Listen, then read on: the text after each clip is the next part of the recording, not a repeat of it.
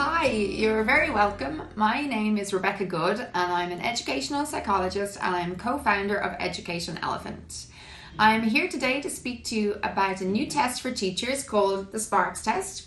This test is quick, it's easy to use, and most importantly, it's going to help you identify those students that need your help the most. So, let me tell you a little bit more about the SPaRCS. The SPaRCS assesses three major areas it assesses S for spelling, P for processing, A for and, and RCS reading comprehension speed or reading fluency.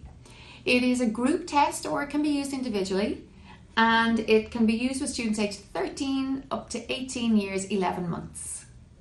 So, some of the major benefits of the SPaRCS are that it's quick, under 40 minutes to administer the whole um, test, it's recent, it is UK and Irish normed, it's highly reliable and valid. It produces standard scores, percentiles, and confidence bands. But some of the major, major advantages of using the SPaRCS is that it assesses some of those common difficulties that students face when completing exams. So you can use the SPaRCS to identify those difficulties and put access arrangements in place. It also is going to allow you to screen pupils quickly so that you can put interventions in place for those students also. So the SPaRCS test was created by our team of psychologists here at Education Elephant. We have over 15 years experience working with teachers and with students across the UK and Ireland.